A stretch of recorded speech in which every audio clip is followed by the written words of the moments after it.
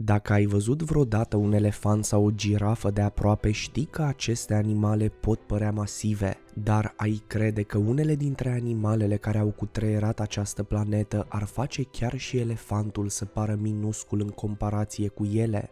Te-ai întrebat vreodată care este cel mai mare animal care a trăit pe uscat, dar cel mai mare animal care a trăit vreodată în ocean?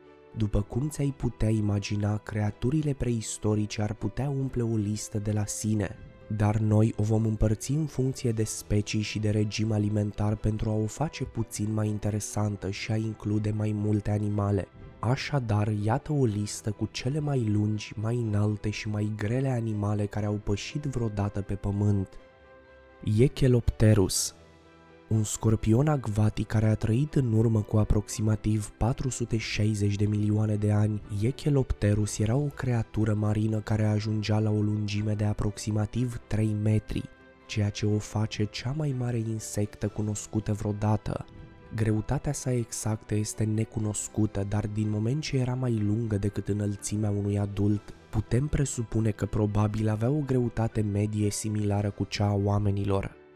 Elefantul Poate că nu este în fruntea listei, dar cel mai mare mamifer terestru erbivor care trăiește în prezent este tot elefantul. Există mai multe specii de elefant, iar cel mai mare poate atinge înălțimi de până la 4,5 metri și o greutate de până la 4 tone. Cel mai mare elefant înregistrat a fost un elefant de savană african adult de sex masculin, specimenul cântărind mai bine de 10 tone și având o înălțime uriașă de 5 metri. Mulți oameni cred că mamutul în os a fost un animal mai mare, dar în realitate aveau aproximativ aceeași mărime ca și elefanții africani moderni, doar că aveau mult mai multă blană și colți mult mai mari.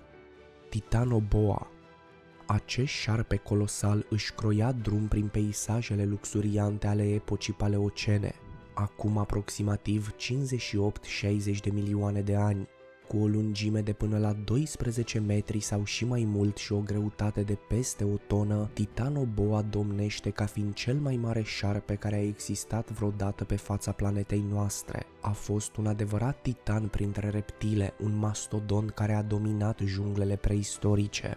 În timpul paleocenului, lumea era un loc foarte diferit. Păduri tropicale dense se întindeau în regiunile ecuatoriale, oferind un habitat perfect pentru ca acest șarpe colosal să prospere. Dimensiunea masivă a lui Titanoboa îi permitea să domine și să devoreze prăzi mari, posibil inclusiv crocodili și broaște țestoase uriașe. Fălcile sale se puteau desface, permițându-i să își consume victimele întregi. Cu forța sa puternică de constrângere, Titanoboa se înfășura în jurul prăzii, storcând viața din ea înainte de a o înghiți cu totul. Acest set impresionant de abilități de prădător a consolidat statutul lui Titanoboa ca fiind prădătorul suprem al timpului său. Pentru a-și susține dimensiunile uriașe și pentru a-și menține un stil de viață activ, Titanoboa avea nevoie de un mediu cald, Perioada paleocenului care a urmat extinției în masă care a eliminat dinozaurii a oferit climatul perfect cu temperaturi globale mai ridicate. Junglele calde și umede din acea epocă au oferit o abundență de pradă pentru acest șarpe monstros.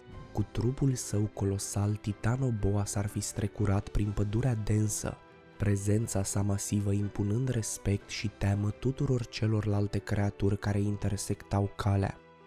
Ursul polar cel mai mare animal prădător terestru care trăiește în prezent este ursul polar. Aceste creaturi masive pot ajunge să aibă o înălțime de peste 2 metri și jumătate și cântăresc până la jumătate de tonă. Un fapt interesant despre ei este că, de fapt, nu sunt albi. Blana lor este transparentă, iar pielea este neagră. Din nefericire, acești urși au un statut de conservare vulnerabil și ar putea dispărea în următorii 30 de ani dacă schimbările climatice continuă necontrolat. Salamandra uriașă chineză Cel mai mare amfibian care trăiește în prezent este salamandra uriașă chineză, aceste animale au aproximativ aceeași mărime cu cea a unui om, ajungând puțin sub 1,8 metri în lungime și cântărind peste 40 de kilograme. aceste salamandre trăiesc sub apă și respiră prin piele. Cu toate acestea, numărul lor este în scădere, iar statutul lor de conservare este critic periclitat. Spinosaurus Titlul de cel mai mare prădător terestru care a pășit vreodată pe pământ îi revine lui Spinosaurus. Acest dinozaur carnivor a trăit în urmă cu aproximativ 90-100 de milioane de ani. Avea o lungime de aproximativ 18 metri, o înălțime de 4 metri, o greutate de cel puțin 13 până la 22 de tone și un craniu lung de aproximativ 2 metri. Spinosaurus și-a primit numele de la țepușele masive care îi străbăteau coloana vertebrală. Capul său avea o formă asemănătoare cu cea a unui crocodil, deși era mult, mult mai mare. Shastasaurus Shastasaurus este cea mai mare reptilă marină cunoscută care a existat vreodată. Acest carnivor a trăit în ocean în urmă cu 200 de milioane de ani și se hrănea în principal cu calamari. Cea mai mare specie avea peste 15 metri lungime. Chiar și cutia toracică a lui Shastasaurus avea un diametru de aproape 2,5 metri. Paraceratherium cel mai mare mamifer terestru era un erbivor înrudit cu rinocerul modern, doar că era mult mai înalt și fără corn. Paraceratherium avea o înălțime de aproximativ 5 metri și o lungime de 7,5 metri, iar dieta sa era alcătuită în principal din frunze de copaci înalți.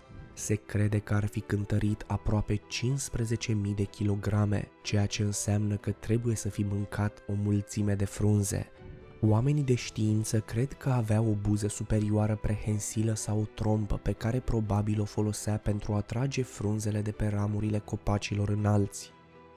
Patagotitan maiorum Patagotitan maiorum este fără îndoială cel mai mare dinozaur descoperit vreodată. Acest titanosaur era un dinozaur erbivor care a trăit acum aproximativ 100 de milioane de ani, cu un gât și o coadă foarte lungi. Fosilele lui Patagotitan au fost găsite pentru prima dată în Argentina în 2012. Acest dinozaur recent descoperit măsura peste 35 de metri lungime de la cap la coadă, ceea ce înseamnă aproximativ 15 metri mai mult decât Diplodocus, care se credea anterior că este cel mai lung dinozaur. Patagotitan avea o greutate estimată la aproximativ 75 de tone, adică la fel de mult ca o navetă spațială.